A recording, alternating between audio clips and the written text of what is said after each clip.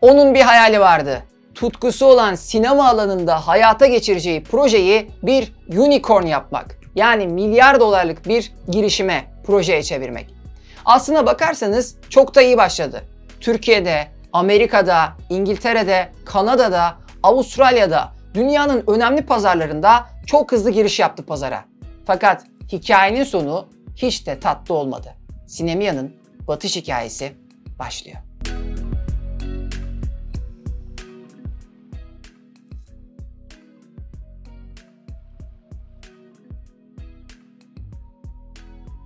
Sinemiya'yı hayata geçiren isim Rıfat Oğuz. 2010 yılında Bilkent Üniversitesi'nde mühendislik eğitimini tamamlıyor ve ardından Turkcell gibi, Garanti Bankası gibi önemli şirketlerde pazarlama, iş geliştirme gibi alanlarda tecrübe ediniyor. 2015 yılında ise tutkusu olan şeyi bir işe çeviriyor ve Sinemiya'yı hayata geçiriyor. Şimdi hiç bilmeyenleriniz için Sinemiya neydi, nasıl çalışıyordu, iş modeli neydi? Kısaca bunu bir konuşalım. Bu görmüş olduğunuz kart benim Sinemiya üyelik kartımdı. Ben de bir ara yani bu sistemin üyesiydim ve bu sistemi kullanıyordum. Şu an isterdim ki bu kartla bir sinemada sevdiğim bir filme gireyim. Vizyondaki güzel bir filme gideyim. Fakat bu kart fiziki durumundan da anlayabileceğiniz üzere en son benim bilgisayarımın sökümü sırasında klavyenin tırnaklarını yerinden çıkartmak için kullanıldı. Yani amacından çok uzakta faaliyet gösteriyor şu anda maalesef. Peki ne yapıyordu bu kartla sinemaya? İş modeli nasıl çalışıyordu? Şimdi sinemaya kullanıcılarına ucuza sinemaya gitme imkanı sunan bir üyelik servisiydi aslında. Abonelik servisiydi. Bu kartın olayı şuydu. Bu kartın içerisine bir bakiye yükleniyordu. Siz bilet alacağınız zaman da bu kartla alabiliyordunuz. Ya da uygulama içerisinde bir PNR kodu veriliyordu size ve o kod aracılığıyla biletinizi alıyordunuz. Tabii öncesinde ne oluyor? Siz sisteme üye oluyorsunuz ve aylık bir ücret karşılığında paket alıyorsunuz. Neydi bu paket? Aslında bu paket cazip gözüken bir paketti. Aylık sınırsız sinemaya gitme hakkınız oluyordu Sinemiya'nın söylemine göre. Fakat benim hatırladığım kadarıyla her gün bir film limiti vardı diye hatırlıyorum. Dolayısıyla eğer bu hatırladığım şey doğruysa yorumlarda da Sinemiya'ya abone olmuş kişiler yazabilirler. Aslında burada tüketiciyi yanlış bilgilendirmiş oluyorlar. Çünkü ayda maksimum 30 film oluyor. İşte bu paketin sabit bir ücreti vardı ve dolayısıyla bu paketi alarak çok fazla sayıda en azından sınırsız diyemesek de sinemaya gitme hakkınız oluyordu. Tabi buna sadece iki boyutlu filmler değil, üç boyutlu filmler de dahil örneğin. Orada gözlük ihtiyacınız olduğu için gözlük için ekstra bir ücret alınıyordu. Böyle bazı detaylar da vardı. Ve bu arada neredeyse Türkiye'deki tüm sinemalarda, tüm salonlarda geçerliydi. Birkaç istisnası vardı diye hatırlıyorum. Yanılmıyorsam Kapitol'de VIP bir salonda geçmediğini hatırlıyorum bu hizmetin. Çünkü o salondan bilet almak istediğimde sinemanın kapsamına girmediğini belirttiler diye anımsıyorum. Şimdi model aslında güzel gözüküyordur sizlere de. Neden? Çünkü belirli bir ücret ödeyeceksiniz ve ayda 30 defa sinemaya gitme hakkınız var. Çok güzel. Fakat bu iş modeli aslında çok sürdürülebilir gözükmüyor arkadaşlar. Gerekçesi şu. Türkiye'de kaç tane insan ayda birden fazla defa sinemaya gidiyor. Emin olun Türkiye'de hayatında sinemaya gitmemiş yine milyonlarca insan vardır ne yazık ki. Fakat kendinizden pay biçin. Hadi şimdi pandemi dönemindeyiz. Daha normal olduğumuz döneme dönelim.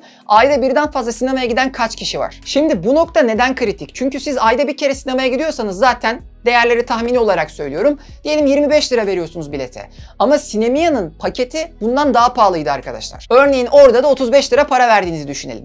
Şimdi bir kere sinemaya gidiyorsanız veya hiç gitmiyorsanız böyle bir servise abone olmazsınız. İstisnai durumlar olabilir. Mesela yaz geliyordur. Dersiniz ki tamam bu ay paket alayım. Zaten birden fazla kere giderim vesaire. Bu gibi istisnaları saymazsak bu işin sürdürülebilir olması çok zor. Ya bunları sayarsak da çok zor. Peki bu kimin için muhteşem bir servisti? Ayda 3 defa, 5 defa, 10 defa sinema sinemaya giden kişiler, sinema okuyan öğrenciler, evine yakın yerde sinema bulunan kişiler, sinemayı çok sevenler için muazzam bir hizmetti aslında. Ama dediğim gibi bu yapı sürdürülebilir olamayacağı için sinemaya ilerleyen süreçte bu eksikliği tespit etti ve farklı farklı paketler çıkardı. Bu paketler içerisinde çok cazip paketler vardı. Örneğin ayda 3 sinema bileti olan bir paket vardı. Ben bu paketi defalarca kullandım ve çok da memnundum aslına bakarsanız. Ne yapıyordum? Sinemaya gittiğim gün gişede hemen gidiyordum gişenin oraya gelmeden sinemaya üyelik yapıyordum. Bir ay boyunca kullanabileceğim 3 tane biletim oluyordu. 25 lira gibi bir ücretli yanılmıyorsam. Ve zaten gişeden bilet alsam o bilette neredeyse aynı fiyatta arkadaşlar. Hiçbir fark yok. Dolayısıyla ben bir bilet fiyatına 3 bilet sahibi oluyordum bir ay içerisinde kullanabileceğim. İlk biletimi hemen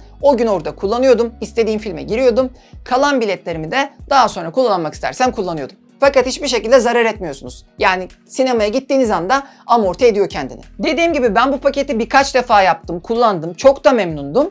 Fakat bir gün tekrar yine sinemaya gideceğimde bu paketi satın almaya kalktığımda ödeme ekranına geliyorum geliyorum bir türlü ödeme gerçekleştiremiyorum. Belki 4-5 defa denedim ve neticesinde daha sonra tabii biletimi aldım. Sinemaya gittim. Bir süre sonra da arkadaşlar gündemde bu sinema ile alakalı yasa değişikliği konuşulmaya başlandı. Hatırlarsınız Kültür Bakanı Mehmet Nuri Ersoy o dönem çeşitli sanatçılarla Yılmaz Erdoğan gibi, Şahan Gökbakar gibi, Cem Yılmaz gibi sinemada filmleri çok fazla gişe yapan sanatçılarla da görüşmüştü ve onların eleştirilerini, şikayetlerini, sistemde memnun olmadıkları noktaları da dinlemişti. Mesela söz konusu noktalardan bir tanesi şuydu. Biletlerle birlikte sinemalarda bildiğiniz gibi indirimli mısır satılıyor. İşte bu mısır satışıyla aslında salonların haksız kazanç elde ettiğini öne sürüyordu yapımcılar ve kendi karlarının da azaldığını iddia ediyorlardı. Bir diğer konu filmlerde gösterilen reklamlar muhakkak bundan siz de rahatsız olmuşsunuzdur.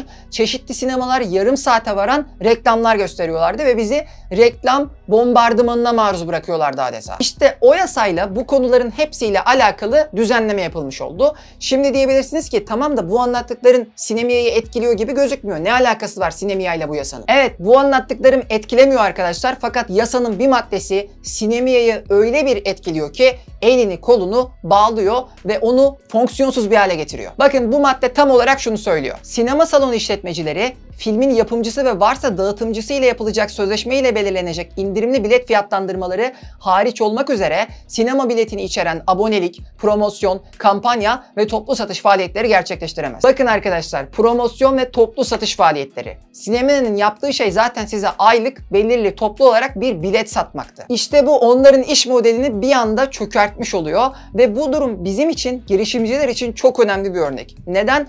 Çünkü yasal bir riskin bir iş modelini bir anda nasıl ortadan kaldırabileceğini, yasal risklerin nedenli tehlikeli olduğunu bize gösteriyor. Bu da bizim bir çıkarım daha yapmamızı sağlıyor. Risklerimizi çok iyi analiz etmeliyiz, çok iyi öngörmeliyiz, üzerinde çok çalışmalıyız. Stratejik olarak süreci çok iyi yönetmeliyiz. Ama arkadaşlar burada şöyle bir gerçek daha var ki böyle bir riski de öngörebilmek çok düşük bir ihtimal. Peki Sinemia ne yapıyor? İşler iyice sarpa sarıyor ve Sinemia bir süre sonra katkı payı ücreti diye bir şey almaya başlıyor. Ne bu katkı payı? Biletin fiyatına göre 0.99 TL'den yani 99 kuruştan 3 lira 99 kuruşa kadar varan bir miktar. Katkı payını şey gibi anlamayın. Örneğin online bilet alıyorsunuz, platform sizden bir kesinti yapıyor ya bu onun gibi bir katkı payı değil. İşte bu durum Sinemia'nın müşterisine taahhüt ettiği modelle aslında uyuşmuyor. Çünkü ben müşteri olarak bir ücret ödeyecektim ve karşılığında direkt olarak sinemaya gitme hakkı elde edecektim. Yani bir daha katkı payı gibi bir şey ödemem gerekmiyor. Ben bu arada bu sürece hiç şahit olmadım. Yani ben daha öncesinde sistemden ayrılmış ve bir daha kullanmamıştım o yaşadığım memnuniyetsizlikten kaynaklı olarak. Ayrıca arkadaşlar ilerleyen süreçte artık birçok teknik problem ortaya çıkmaya başlıyor. Şikayet vardı ekşi sözlükte onlarca tonlarca şikayet görebilirsiniz. Bakın şikayetler.com'da 3386 tane şikayet açılmış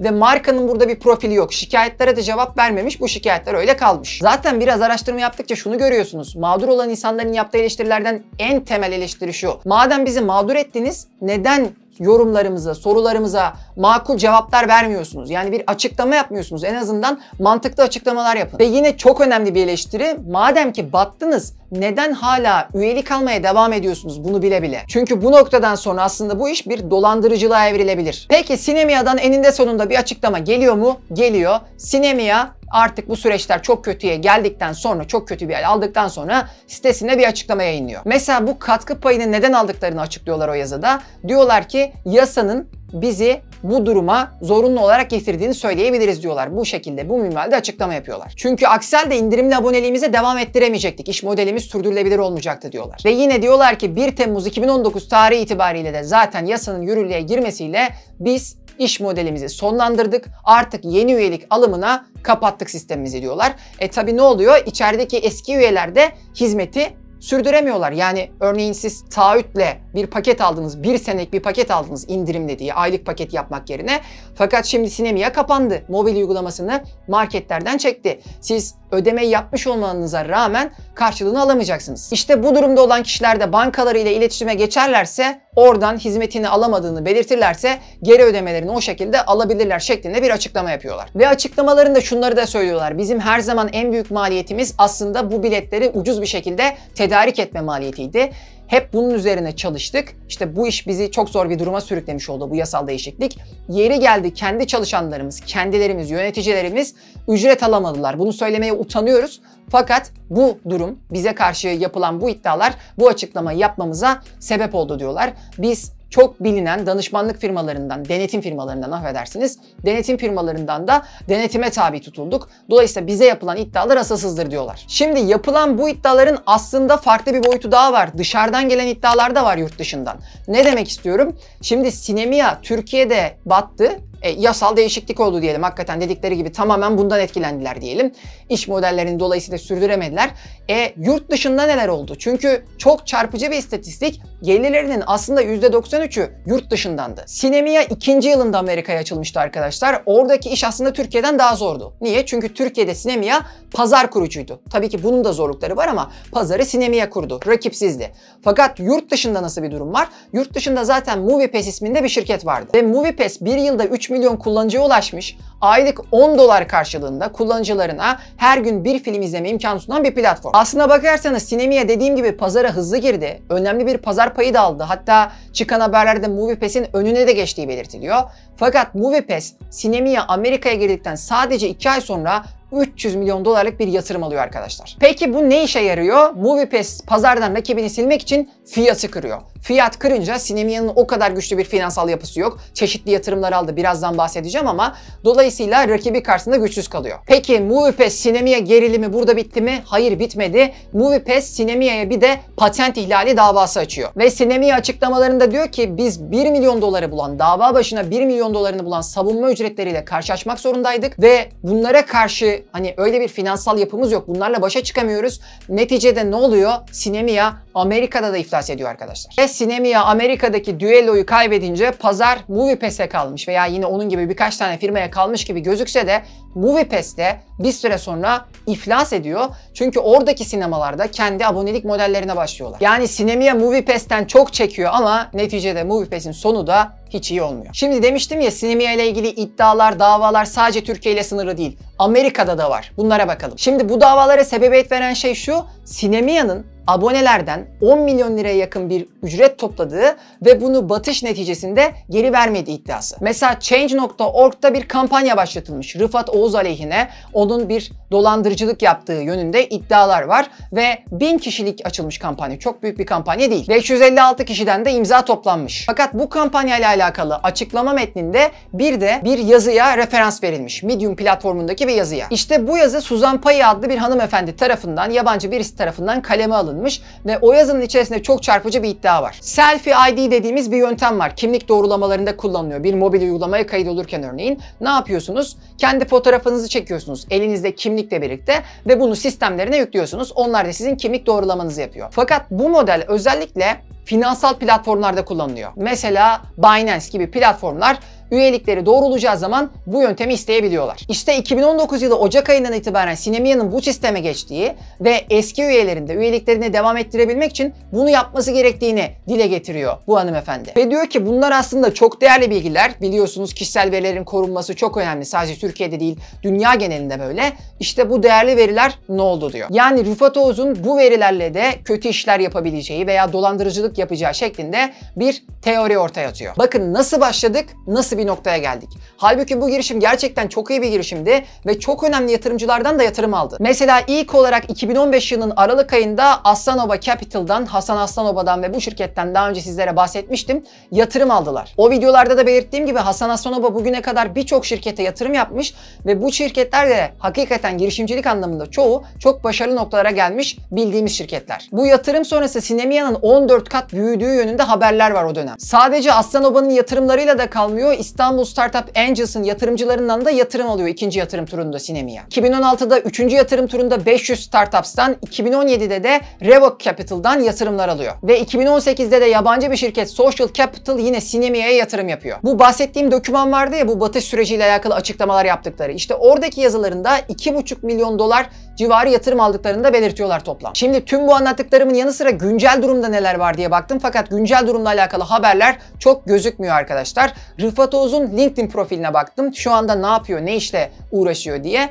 Fakat burada da ekstra bir güncelleme göremedim. Daha sonra internetten araştırınca farklı bir şirkette bağ olduğunu gördüm. Bu şirket Sapgen adında bir şirket. Üyelik servisleri sunmak, üyelik modelleri geliştirmek gibi alanlarda çalışıyor. Bir teknoloji şirketi ve 2004 yılında kurulmuş. Rıfat Oğuz da çeşitli sitelerde bu şirketin kurucu ortakları arasında görülüyor. Dolayısıyla bu şirket üzerinden çalışmalarını sürdürüyor gibi gözüküyor. İşte Sinemia'nın 4 yıllık kısa ömründe ortaya çıkan hikaye bu. Bu hikaye bence çok değerli bir hikaye tüm girişimciler için. Hızlı büyümenin kontrol edilemez bir riskle karşılaştığında nedenli yıkıcı bir sona sebebiyet verebileceğini net şekilde ortaya koyduğu için hepimiz için çok anlamlı bir hikaye. İş modelini doğru oturtmanın çok kontrol edemeyeceğimiz bir risk çıksa bile iş modelimizi nasıl evirebileceğimizin, nasıl çevirip farklı bir boyuta sokup pazarda varlığımızı sürdürebileceğimizin bunların analizinin yapılmasının önemini ortaya koyan bir batış hikayesi. İşte tüm bu anlattıklarım neticesinde aslında önemli dersler içeren bu hikayenin de sonuna geldik. Bir sonraki videoda başka bir hikayeyle görüşmek üzere. Hoşçakalın.